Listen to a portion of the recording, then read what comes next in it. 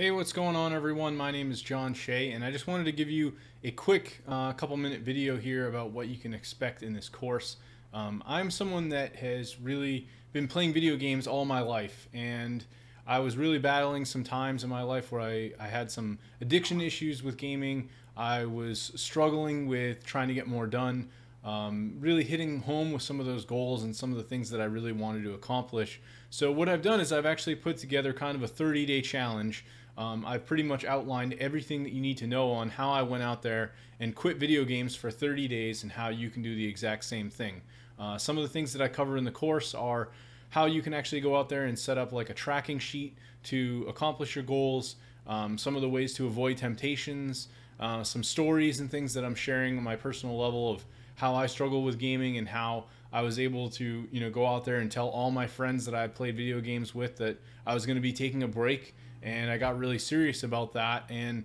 uh, finally, how it really affected me and really where that's left me now today when it comes to um, you know continuing to play games on kind of a regular basis, but really backing off from them and uh, the things that I've been able to accomplish because I decided to take that first step in really just quitting games for 30 days. So I think if you're someone that is currently spending anywhere from like five to 10 hours plus a week gaming, um, you know, you're coming home every night and uh, eating dinner, watching Netflix, and playing video games, then I think this course would really help you to go out there and start accomplishing goals. Like maybe it's buying your first home, uh, maybe it's starting a business for yourself, maybe it's going out there and finding a girlfriend, whatever it is that you want to accomplish in life. Um, maybe it's getting better, getting in better shape. Any of those things, um, I want you to be able to take this course, go out there, uh, go through this 30 day challenge, and then have it help you start moving your life in a positive direction. Uh, thanks for checking out the course, and I hope you enjoy it.